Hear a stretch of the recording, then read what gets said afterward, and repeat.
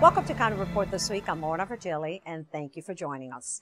The Montgomery County Drug Court Program is a volunteer program that offers individuals with drug or alcohol dependency problems the chance for change. Susan Kenedy has a story.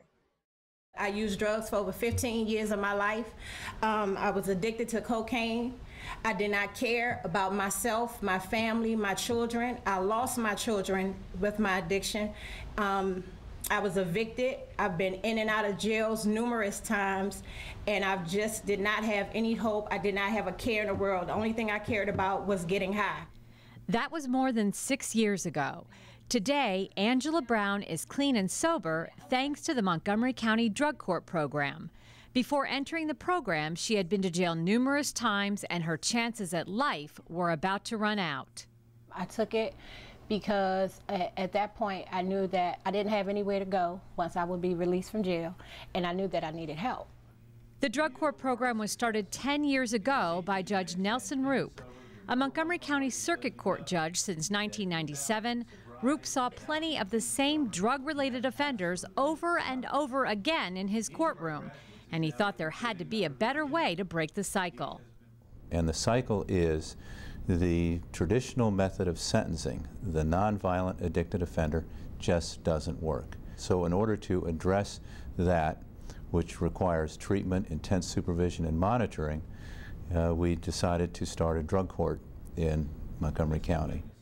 The Montgomery County Drug Court is a two year program that couples substance abuse treatment with close judicial supervision in lieu of jail.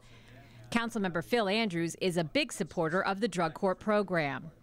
We all benefit when uh, people who uh, can be safe in the community and be productive citizens are doing that rather than locked up. Judge Rupp and Judge Quirk do amazing work with the uh, Health and Human Services team, uh, working closely with the uh, state's attorney, with uh, the Corrections Department, with the sheriff, with others as well, and with employers who sponsor the, the folks in the program uh, one of the conditions of the program is you got to work. Recently, the program graduated its latest group of participants. To date, there have been 140 drug court graduates, and the program has an 85% success rate.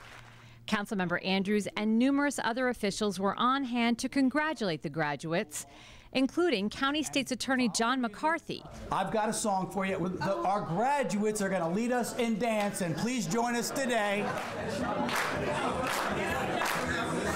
Come on, get up. Some people come into the program to get an opportunity to get your life together. The program saved my life. I'm happy. I'm at peace. Without it, I would definitely be on the street or dead. I wouldn't be in jail. I would be dead. In Rockville, I'm Susan Kenedy for County Report This Week.